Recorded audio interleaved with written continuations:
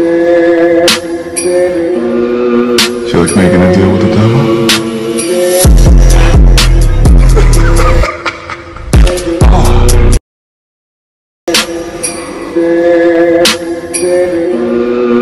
like making a deal with the devil.